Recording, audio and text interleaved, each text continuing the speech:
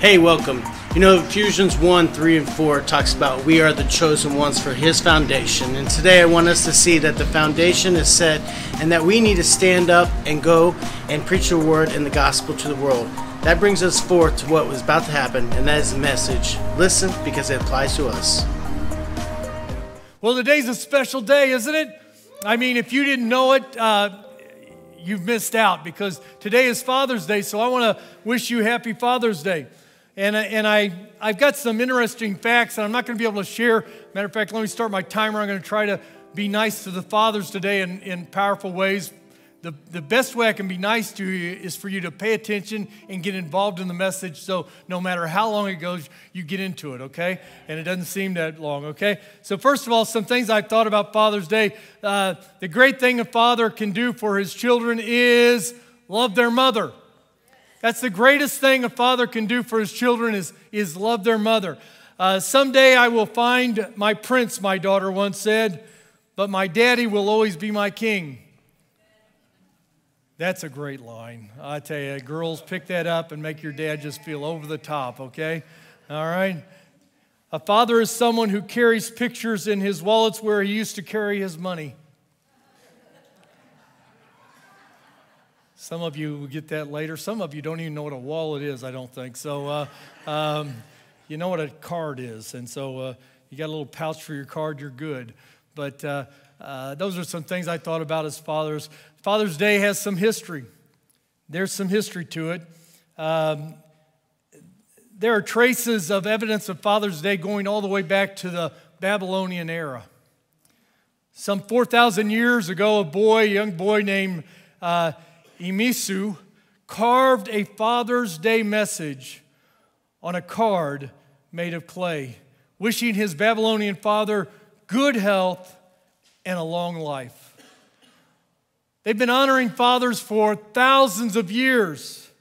It took a little while for Father's Day to be caught on here in the United States, though. Uh, there's, there's evidence, like I said, that, that it was taking place all over the world and, and even in the United States. And, it was celebrated in different states and things like that, but uh, as early as 1908, we have evidence of it here in the United States. But it was officially recognized as Father's Day uh, in 1972.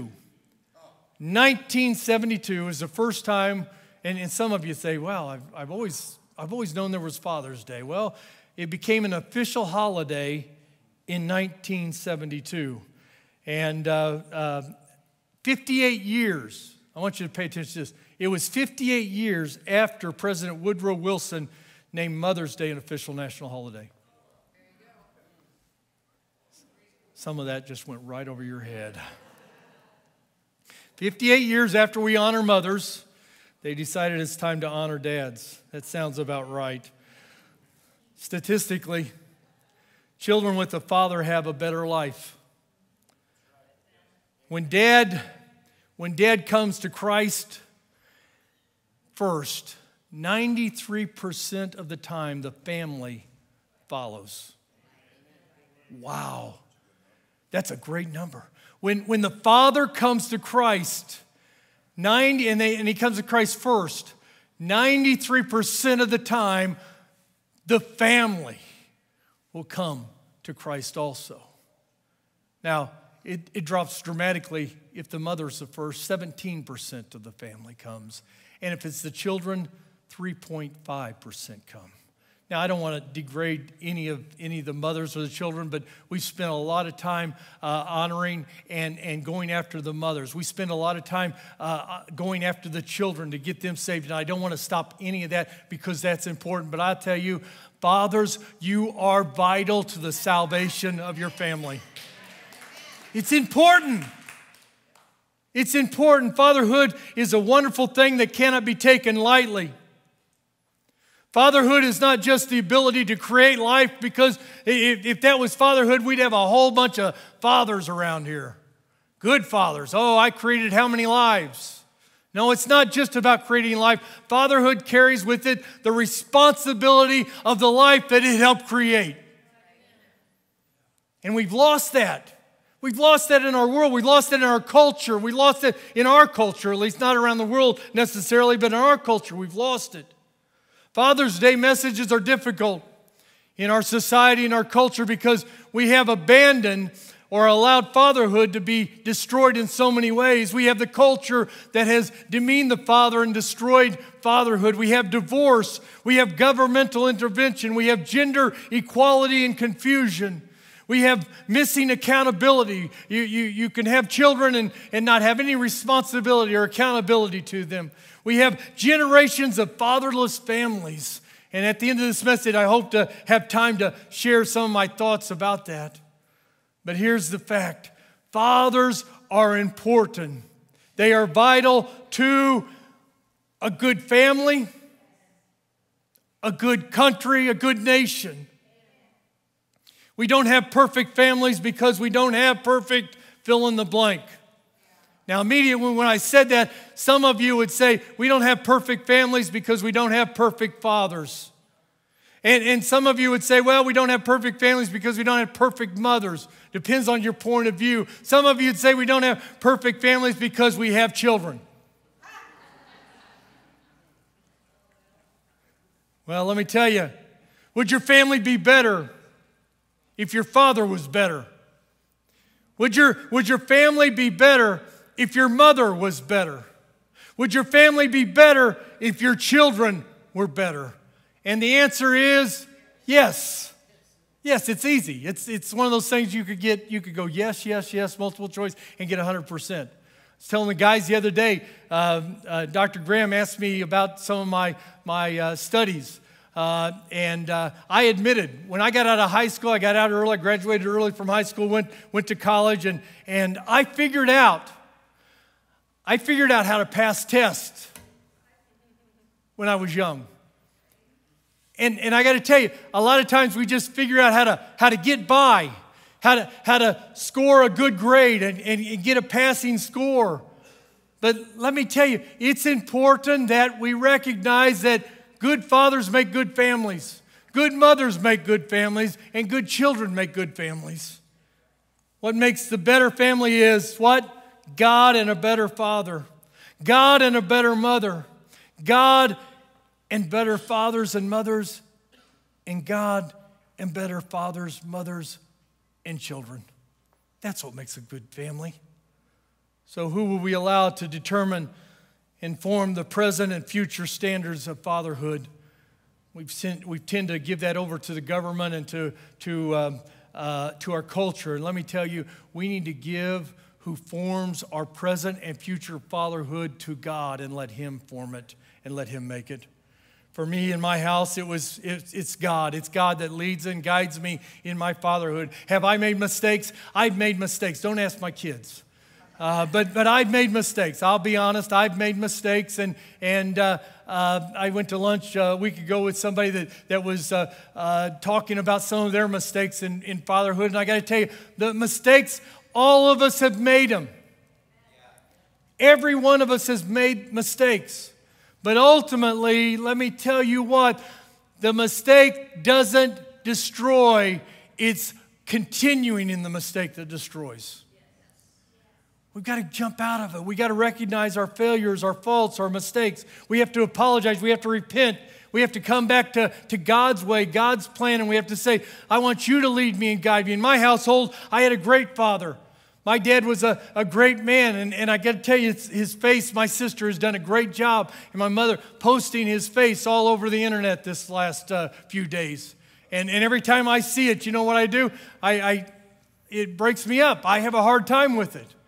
I, I, I'm struggling with the loss of my father still from 2019. Some of you say, well, that was a few years ago. You ought to be over. No, let me tell you, I still would like to pick up the phone and call him ask his advice, ask his, ask his instruction. But dad was a great man. He, I'm lucky to have him. Some of you haven't had the example of a great father. Some of your fathers were, were, were neglective, they were abusive, they were addicted, they, they had issues. But let me tell you, I had issues. I've had issues. It's what you do once those issues are recognized in your life. Once the Holy Spirit of God comes to you and says, This is something you need to change, make the change. The problem is when you refuse to make the change. I like it just the way I am. Well, when you get to heaven, you tell God that, okay? I like me just the way I am. Well, there's going to be a difference there. There's going to be a difference of opinion. I think his opinion will matter. Some of, some of you have never had a positive role model as a father in your life, and so you don't, you don't put as much into fatherhood as, as you should. I don't have time and ability to fix fatherhood in our world, especially the past, but I can point you to the fixing of your fatherhood in the future. It's found in Jesus Christ. It's found in God the Father, it's found in His Word. And through them, you can change your present and you can change your future. Sigmund Freud said this I cannot think of any need in childhood as strong as the need of a father's protection. As a father's protection. We live in a world of sin that continues to infiltrate, dismantle, and destroy every institution that was set in place by God to protect the family from the enemy. The very first man that was created was created to work. I know that's a dirty four letter word. Uh, someone told me that again uh, even Thursday night. He said, Stop using the word work from the pulpit. I know he was kidding, but uh, uh he says that's a dirty four letter word. Let me tell you, he created man to work and to protect his family. Adam failed to do that in the garden with Eve. He should have stepped between Eve and the serpent and pointed his, his finger in the, the, the nose of that serpent and said, No, we will not listen to you. You will not communicate with my wife any longer. Boy, that would have changed everything, wouldn't it? The same thing for men. We, we are created to be protectors, which brings me to the message today I have for you in Nehemiah chapter 5. You said, How, Tracy, are you going to bring Father's Day into Nehemiah chapter 5? God did it. And he put this message right at the right time. He put this, he put my schedule right perfectly at this point. Let me give you a quick review if you haven't been a part of this uh, series. Nehemiah is called by God to do a work. He's called to rebuild the walls of Jerusalem. They're going to rebuild the walls, they're going to rebuild the temple. It's going to be a great thing. Nehemiah does a couple of things. One, he prays, he prays constantly. You'll find uh, numerous prayers. You'll find nine, I believe, different prayers through the, through the book of Nehemiah. What does he do? He prays when something he comes across or confronts, he prays about it. God met the need, answered the prayer, and he steps out by faith. And at times, we as men need to find something worth dying for. And let me tell you, your family is worth dying for. If you don't feel that way, then you are just a sperm donor. And you're wrong. You're evil. Oh boy, I'm I really going to go now. I can tell it. Okay. See, here's the thing God created us to protect, to protect from evil. And He gave us a family to die for. Jesus Christ says, Love your wives as Christ loved the church and gave Himself for it. We need to be willing to give ourselves for Jesus Christ. We need to be willing to give ourselves for our families. Nehemiah Nehemiah prays, the doors open. He decides it's time to move forward. Nehemiah moves forward with investigation, he gets cooperation, and he has determination. He spends a lot of time in ordinary days to prepare everybody for extraordinary days. And when he rises to build, and when we rise to build something for God, when we rise to do something for God, the enemy will always rise to destroy whatever you're doing for God. But Nehemiah said last week, what did he say? And, and don't tell me he said, bring a big pocket knife, because that's what I did last week. Don't say that. He said, he said, don't be afraid. Remember the Lord and fight if you need to, because evil never stops itself. Evil never stops itself. Today's anchor verse, if you have your Bibles, we're going to be in the book of Nehemiah, chapter 5, verse 19 says this Remember for my good, oh my God, all that I have done for this people. Nehemiah chapter 5, verse 19. Remember for my good, oh my God, all that I have done for this people. Now, my title for my message today, yes, it's Father's Day, but it is this Do the right thing. Do the right thing. Because it's Father's Day, I must, uh, I, I, I, may have at, at times deal too much or speak too much to the fathers. Let me tell you, everything that I say today, I believe applies to everyone here. There are certain duties and responsibilities that will be for the husband, the man, the father, but ultimately, all of us can be shaped by this message today. When God came to the garden after man had sinned, God knew what had happened and what and, and who was responsible. Uh, the man, was it the man? Was it the woman? Was it the devil? And some of you are, are, are looking at me, is this another test? Yes, and it's real easy. All the answers are the same. It's yes, all of them are responsible. See, we have this, we have this thing now that, uh, uh, that, we like to, that we like to place guilt, and we, and we don't like to put group guilt on some, something. But let me tell you, group guilt applies. It applies. Just, just as, just, a multi, just as uh, uh, uh, multiple people can be convicted of a charge uh, from involvement in the same crime, when sin occurs, numerous guilty people are often involved. It's not just one person generally.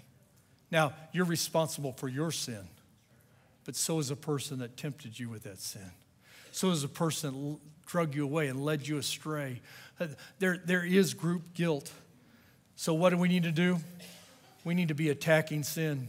We need to attack sin, Satan, and the enemy.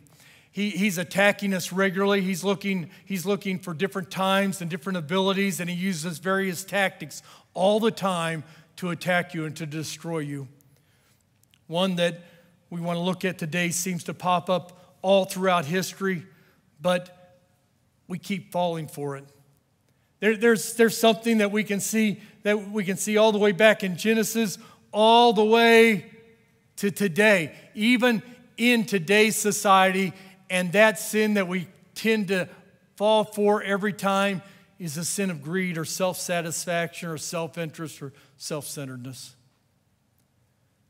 In John chapter 2, verses 13 through 17.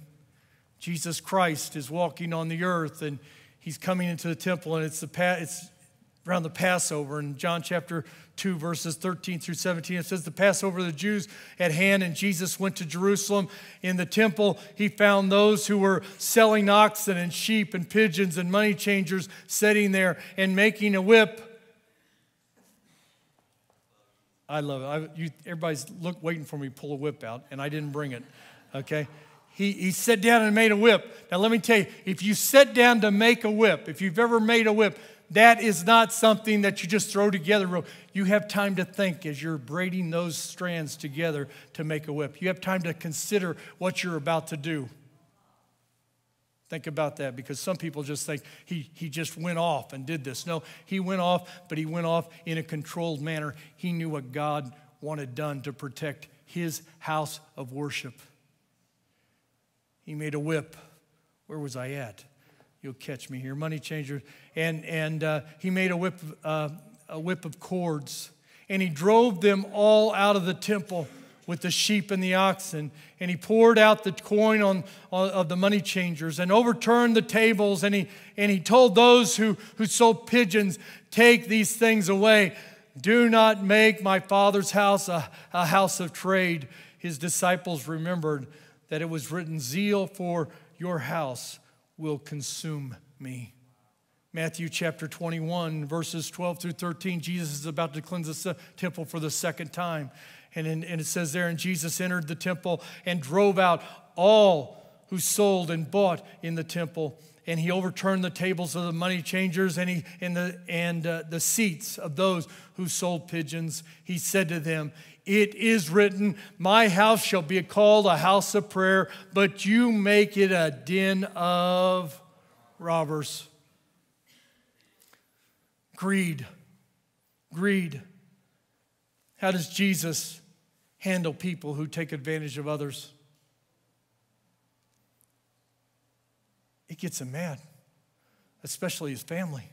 His family's coming in. I mean, he, they drove off, they drove out the money changers, they, they drove out the ones with, with cattle and, and, and sacrifices. Now, I love the fact that he didn't, he didn't set the pigeons and the, and the doves free because ultimately that's what the poor could buy, and he just sent them out. He drove them all out and says, Greed will not be a part of my house. And what we've done from throughout history is we keep falling for greed. Even in the church, even at the church, we've fallen for greed at times. And it's a sin that will destroy. And it's a sin that God comes, comes against on a regular basis. How important is God's house and his family? It's important enough for his son, Jesus Christ. It's important enough for his son, Jesus Christ, to drive out anything that would destroy the work of God. Fathers, it's your responsibility to drive out anything that would destroy your home, your family. I could probably end there, but I can't. I got to go on, okay? Acts chapter 20, verse 29 and 30 uh, says there, I know that after my departure, Fierce wolves will come in among you, not sparing the flock. And from among your own selves will rise men speaking twisted things to draw away the disciples after them. One of our problems in our Western culture is that our thinking about wealth is driven by an atheistic Marxist uh, philosophy other than a biblical philosophy. See, we are taught that there are two kinds of people in the atheistic Marxist philosophy. There's two types of people there's, there's rich and there's poor. And, and if you're rich, you're what? Evil. And if you're poor, you're good. And that's what's being taught today. And, and, and if, if you've attended, if you've attended a university, you've probably been influenced by that in some way. And I'm not, I'm not telling you that uh, that was bad. I'm telling you that you need to get a biblical concept of it. The cultural concept is wrong. There's not, the, there's not just the rich and the poor, but the Bible gives us four kinds of people. And, and, and three of those are, are discussed in chapter 5 of Nehemiah. He gives us godly rich. God blesses them. They work hard. They tithe to God. They, they invest smartly and wisely, and, and they're generous to others. Then there's the godly poor, hardworking people uh, with integrity, uh, people who are, are, are good stewards of his money but just don't have a lot. You have the ungodly rich, which are, are all about gain and, and, and spend their wealth sinfully. And we have a lot of them today. And then you have the ungodly poor. They do not work, they do not spend wisely, do not tithe generously, and they do not invest smartly. So you say, Tracy, there's only two. No, there's four. And when you look at people, always remember that. Do not think of somebody just because they have a little bit of wealth, because God has blessed them in so, so many ways, that they are ungodly. No, there are godly rich, there are ungodly rich. There are godly poor and there are ungodly poor. What's the making of a good leader? We're going to look at that in relation to these ungodly rich, godly rich, and ungodly or, or godly poor. Nehemiah chapter 5, verses 1 through 5. Now there arose a great, out, great outcry of the people and of their wives against their, their Jewish brethren for there were those who said, With our sons and our daughters we are many, so let us get, let us get grain, so let us get grain that we may eat and keep alive. There were also those who said, We are mortgaging our fields, our vineyards, and our houses to get grain because of famine. Because of famine. A great famine to come into the land, and what's going on? They're, they're mortgaging their, their, their vineyards, their fields, their, even their children. It's getting so bad. And they're crying out because of this. Verse 4 And there was, and and there were those who said, We have borrowed money for the king's tax on our fields and our vineyards. Now, our flesh is as the flesh of our brothers, and our children as their children. Yet we are forced, we, yet we are forcing our sons and our daughters to be slaves. And some of our daughters have already been enslaved, but it is not in our power to help it. Last line For other men have our fields and our vineyards. Times were tough. Famine was in the land. Let me tell you, the supply chain was broke. As I tell you, the Bible just doesn't tell us what happened, it tells us what always happens. Supply chains broke, there's issues. The taxes are, are rising. Uh, a matter of fact, when things get tough, does the government lower your taxes? Some of you got your property tax statement in the mail recently. Uh, uh, no, here's what happens when the government, when, when, when things get rough, the government keeps taxing, and instead of instead of downsizing, they hire they and maybe they did in Nehemiah's time. I don't know. They hired not eighty thousand IRS agents to make sure you're paying your taxes. It's a tough time. Interest rates are high. Things are going crazy. We're mortgaging our fields, our, our, our flocks, we're, we're giving our vineyards away, and, and, and we're going to have nothing. We're going to be back into slavery. And, and let me tell you, you bought us out of slavery. You took us out of slavery, but now we're, we're going back into slavery, and, and some of our slavery is even to our own people. There's people in, in the church, there's people that come in to worship with me that are taxing me, that are, that are, that are mortgaging my, my, uh, my land, that are repossessing it. There, there's, there's a guy coming up and he's, he's riding my camel. And, and, and my daughter is serving him and she's coming into the temple with me. There's problems. They're, they're creating problems for worship and relationship. That's how tough things are. People are struggling, lenders are taking the property. This is affecting the relationships of, of everybody, and it's affecting even their worship of God. In Galatians chapter 6, verses uh, 10, 7 through 10, it says, Do not be deceived. God is not mocked. For whatever you sow, one sows, that will he also reap. For the one who sows to his own flesh will from his own flesh reap corruption, but the one who sows it to the Spirit will reap from the Spirit eternal life.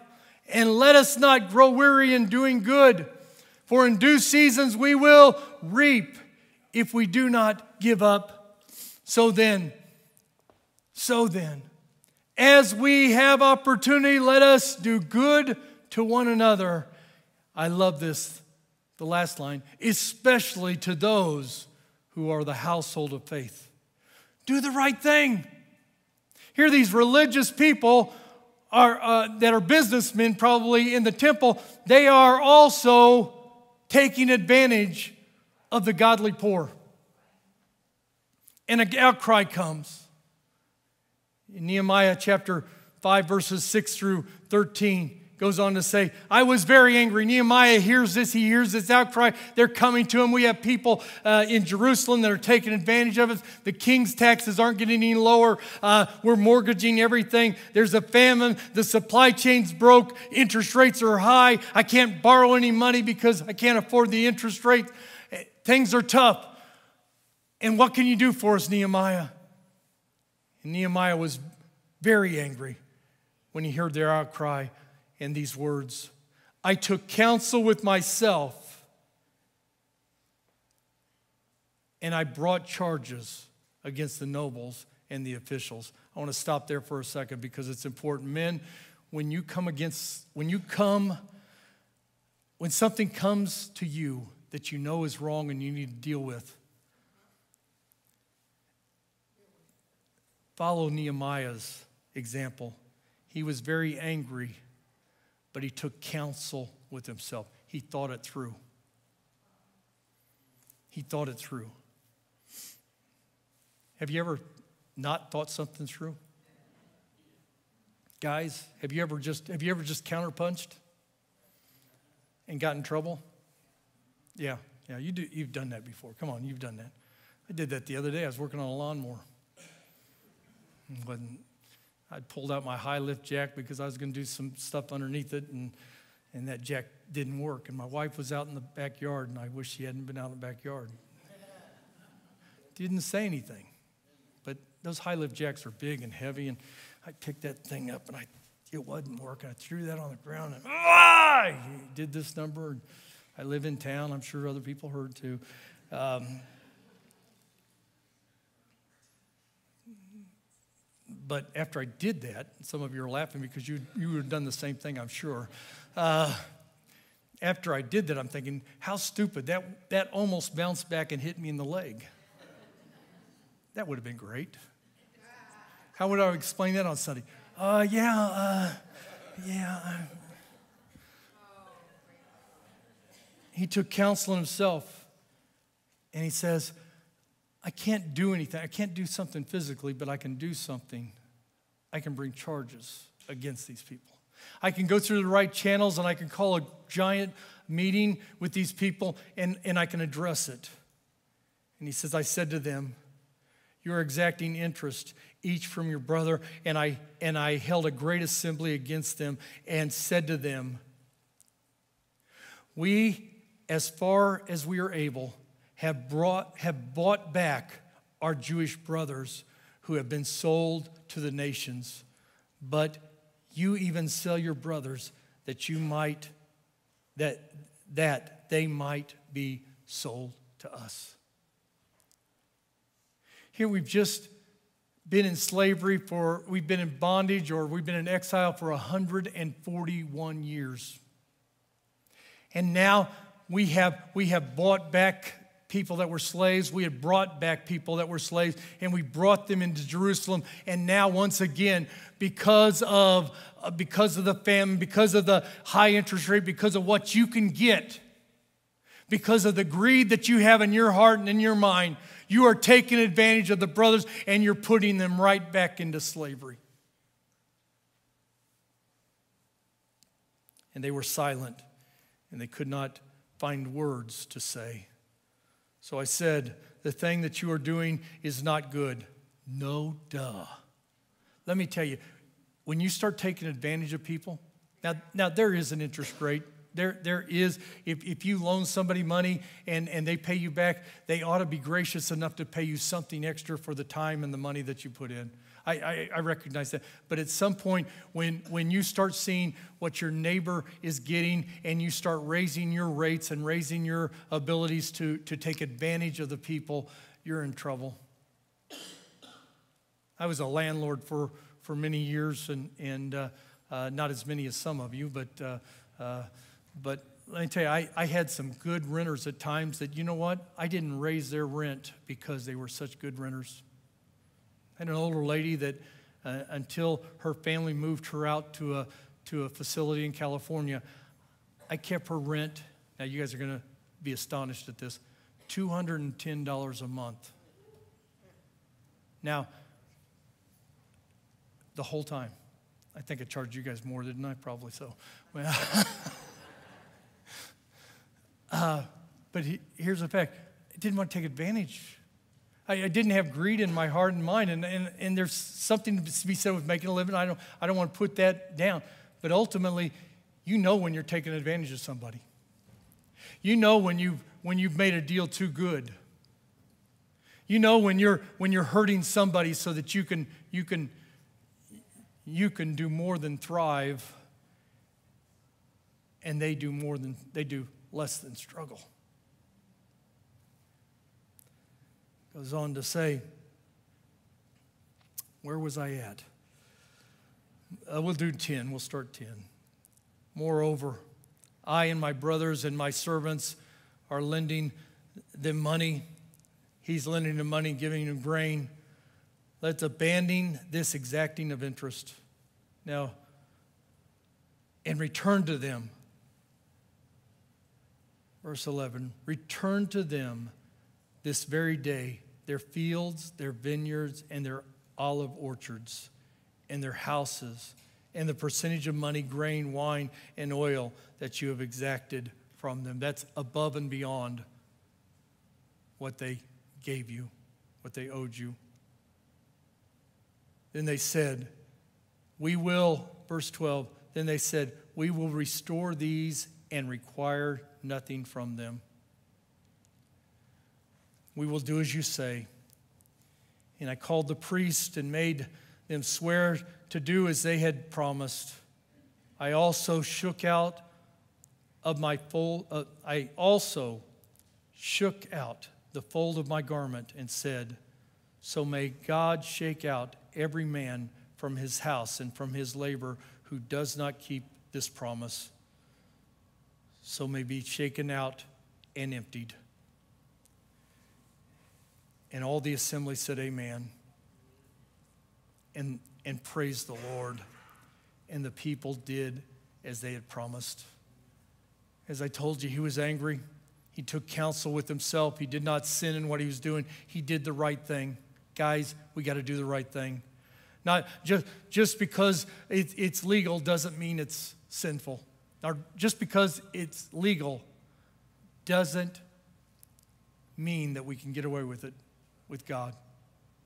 It can be legal, but it can be sinful. God's law is higher than man's law. And men, at times, we need to make godly appeals. We need to make a godly appeal to our nation. We need to make godly appeals to our education systems. We need to make godly appeals to, to sometimes the leadership in our church. We need to make godly appeals so that, one, we stay in the right perspective with God and His will. Godly rich reply properly with repentance and restitution. Those godly rich men that, that, that had been coming to the temple with them and, and, and had been exacting high interest from these people, they, they decided, I don't need this much. I can survive with this. Why don't we just, why don't we just work together to make this work out? We're not talking about a bunch of people that were, that were ungodly poor there. We're not talking about, you, about a bunch of 30 year old guys that are living in the basement of, of their mother's house uh, being taken to Walmart to buy their groceries because they don't have their driver's license. See, we're not talking about today's culture, even though today's culture has gotten more God, ungodly poor. And I say this, I, let me say this to you, and, and this will this will step on some more toes, and I and I and I don't apologize. Um, here it is. We got we got guys today, men Men today, they're shaving. God gave his life. God gave his life at 33 years old for the sins of the world. And you're living in your mom's basement. Let me tell you, men take responsibility.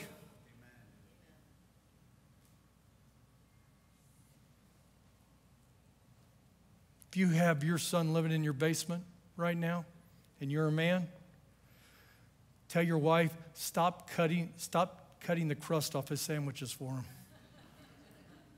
Start there and work your way up. Now, some of you are giving me the dead stare now. I better get, keep going.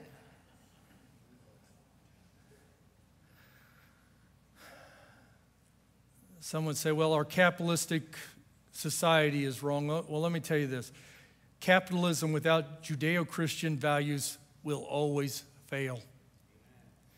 Capitalism without Judeo Christian values will always fail.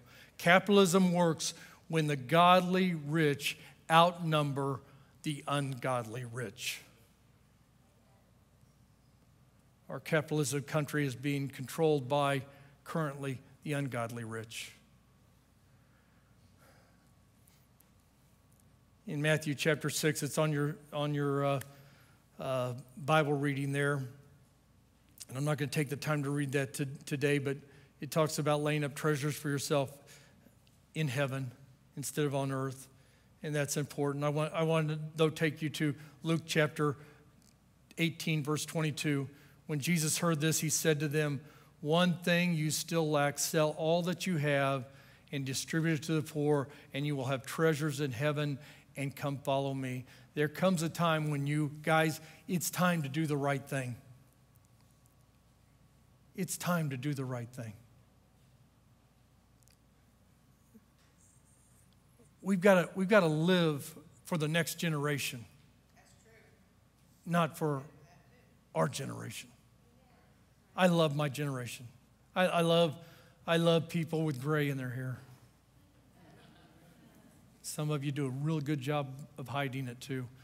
But, but I, I love it. I, I, think, we I think we're, we're not the greatest generation because many of them are passing.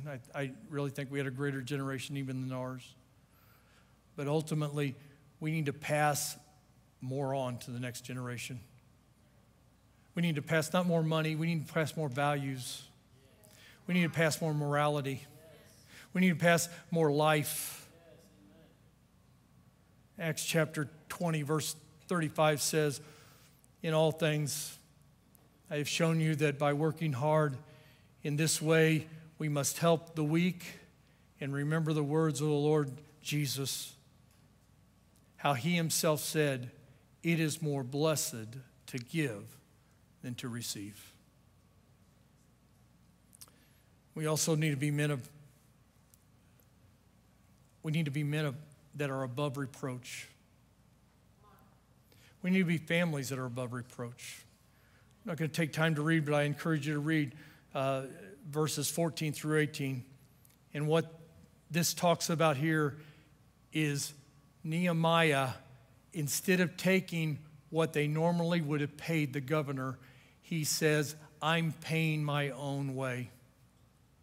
I'm taking care of it. At, at, one point, you say, well, he was just barely skimming by. No, he, he, he, has a, he has a group of men that he comes and he meets with 150 and at his expense. Is Nehemiah, uh, uh, is, is Nehemiah an ungodly rich or is Nehemiah godly rich? He, he did he did take some from them, but he did not take anything that was exorbitant. He paid his own way. We have generations right now that aren't paying their own way. Like I said, at 33, Jesus Christ died on the cross for the sins of the world. And at 33, we have people living in the basement of their mother's house. Now, I say that, and I, and I think one day I may live in the basement of my children's house. I don't know. We'll just have to see. Uh, that'll be to care for me, guys, okay?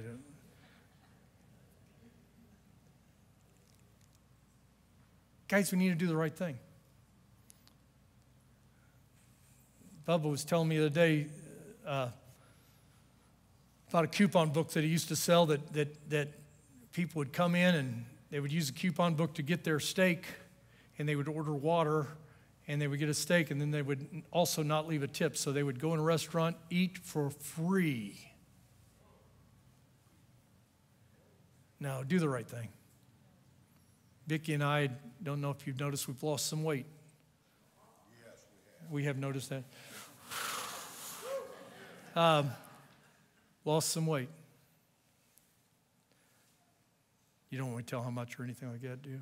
Okay, all right. You do. I do. I want to tell. I want to, own or brag. We lost some weight, and part of the part of the plan is that times we go places and we split a meal.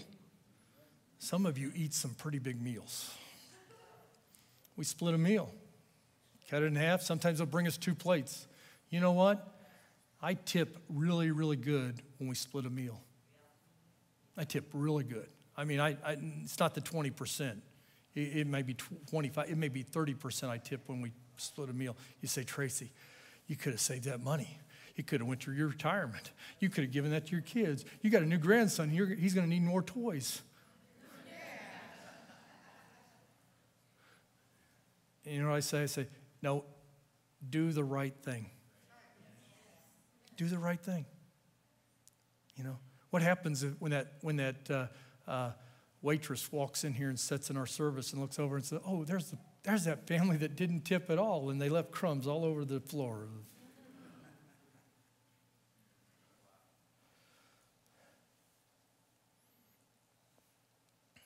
First Peter chapter 4, verse 10 says, As each has received a gift, use it to serve one another as good stewards of God's varied grace. God has given you gifts. He's blessed you with knowledge, ability, with wisdom, with skills, with talent and abilities. Use them as good stewards to serve one another. Do the right thing. Happy Father's Day. I'm closing. Do the right thing. A mark of a good leader, a mark of a good father is this to have pure motives, do things for the right reason. Number two is to be above reproach. It's so important to be above reproach. Guys, don't, don't uh, and, and this doesn't happen today because things are so different than they used to be, but I remember back in the day, you'd pick up the phone and it was attached to a wall. And, and the kid would answer it and say, uh, they'd ask for the father, and the father would look over, tell him I'm not here. that's not living above reproach. I just told her about how old I am, don't I? Didn't I? Okay. And then the last is be filled with the Spirit. Be filled with the Spirit. Nehemiah wouldn't have made the right choices if he hadn't what? Sat down and consulted with himself. And I believe that was also a time of prayer for himself to consider what should I do and what's the right thing to do. Nehemiah chapter 5, verse 19. Remember me, O God. Oh my God. Remember for my good, oh my God, that I have done for these people.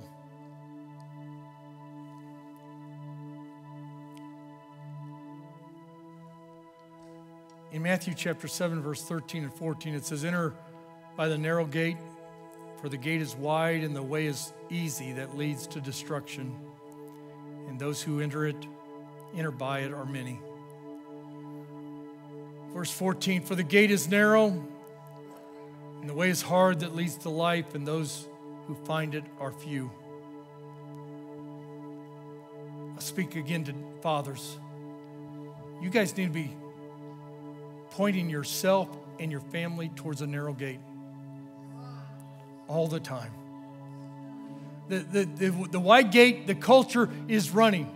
As I told you the other, maybe it was last week, it's a highway to hell. It, it definitely is a highway. To, my goodness, lots of people are going that direction. And if you find yourself in a huge crowd of people and you're all going the same direction, you need to sometimes question yourself.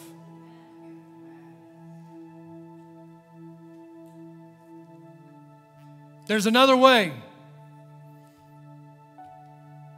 We were at Sight and Sound Theater not too long ago for, for Faith's birthday.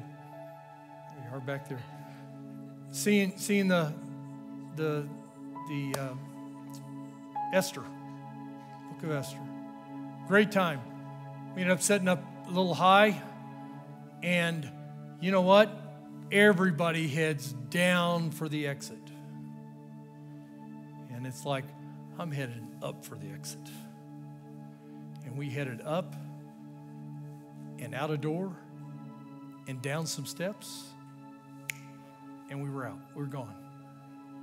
And we ran to the car. It was pretty hilarious, too, uh, to watch us run to the car. But, guys, sometimes you need to look for a different way. The world doesn't have the answers. Do the right thing. You want the track to success? And I want you to teach your children the track for success. You want to be successful? Here, here's three, maybe four points to make you successful. Number one, graduate from high school. You, you want to you want to be uh, almost bulletproof for living in poverty? The first step is to graduate from high school. The second step is this work a full time job. Don't find one of these part time, you know, I can get by, I can buy video games once a month and I can, I can eat cheese pizza. No, get a full time job. Marry a woman, guys.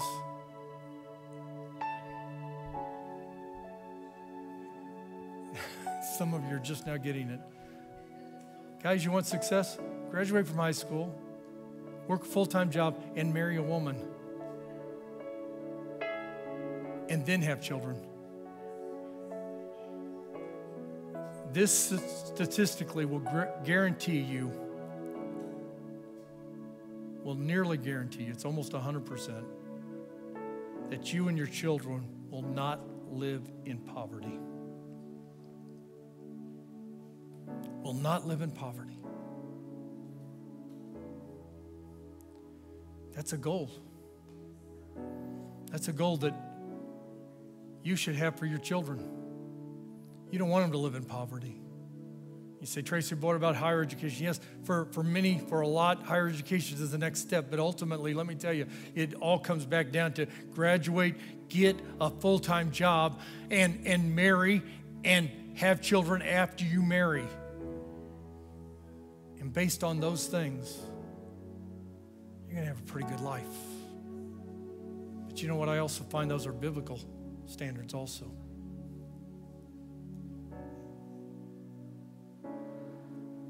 I don't, I'm going to close with this. I'm going to close with scripture. And I'm going to walk off after the scripture, but here's what I want to tell you. Men, you have a great responsibility.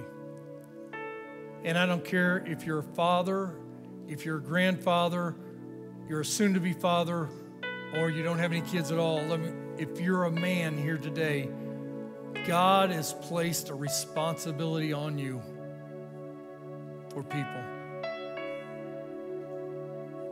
Do the right thing. Do the right thing. I, I read the news the other day well, it was this morning early, real early this morning. 46 Nigerian Christians were massacred. 46 Nigerian Christians were massacred at the neglect, it says, of the government. It's time for people to start standing up and do the right thing. Stand. Make a stand. Let your voice be heard. Nehemiah could have just walked away from those group of people and said, you know, you guys are going to have to work it out on your own. You've got contracts, you've got legal documents. You're going to have to just work through that. No, he called those people all together and brought them to the table and said, This is what we need to do. And they listened to the Spirit of God and changed their ways. Will you listen to the Spirit of God today and change your ways?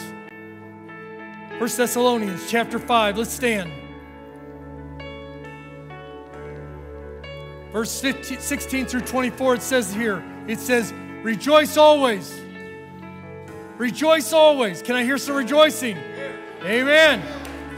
Pray without ceasing. Give thanks in all circumstances, for this is the will of God in Christ Jesus for you.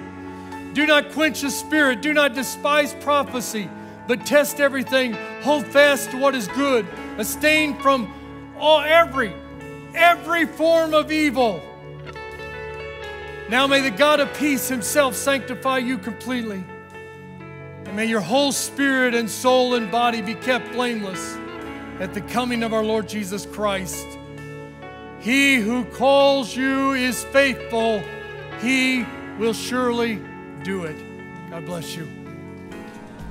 Hey guys, welcome back. You know, Brian's going to give us some good information about what's going on at the Hill. Yeah, that's right. So we want you to be able to stay connected. So the easiest way for you to do that is just to hop on over to our website, take a look at our church calendar. That's going to keep you up to date on everything that we have going on. But most likely you're on our YouTube channel right now. So if you haven't already, go ahead and do us a favor and like and subscribe and maybe even share if you were ministered to by this message. So we also wanted to make available to you how to support us here at the Hill. So the best way to do that is through prayer. Uh, also, a very practical way to do that is through giving. And so, if you go to thehillministries.church slash give, that allows you to uh, give securely online, and that means a lot to us. It allows us to keep things moving forward as we spread the gospel. And lastly, we have got social media on Facebook and Instagram. So, again, those are just great ways to kind of just visually stay involved and up to date on what's going on here. You're going to see pictures of recent events, you're going to see promo of upcoming events, and just all the ways to just help you feel a part because we very much consider our online family a part of what we have going on here. So, Jeremy, any final thoughts? It is. The world's gone crazy, but God is still firm. That's right. God bless. Amen. Have a great week.